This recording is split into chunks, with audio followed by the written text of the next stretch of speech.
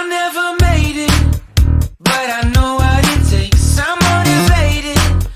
by a mix of emotion.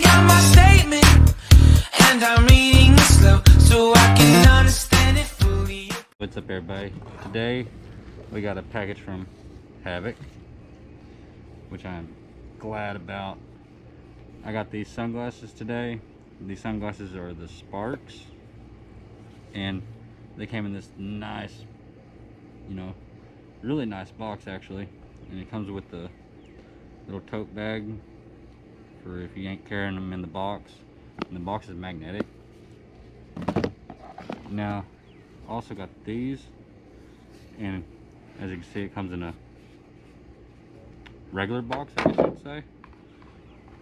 But it also comes with the handbag. These are the coral sunglasses and as you can see they're got like the gold shiny reflective on the front and the whites on the side. I like these a lot too. These were for the old lady. She liked them. Actually I got both these sunglasses and was wondering which one she was actually going to take.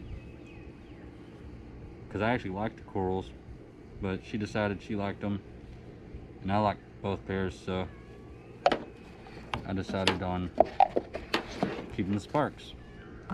But also got this shirt in today and the mask and another shirt for the old lady. The same one with the gold foil logo.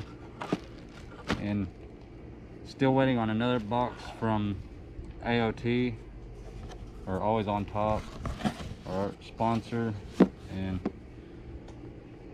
hopefully I'll get it in it's a new jersey with number and name on it and I think I got the gloves to match it to go along with the pants I already have. And also we have another package coming from FTW or Forever Two Wheels. Absolutely love their stuff. I can't wait till they get the kicker ramps back in. But for now that is all see y'all later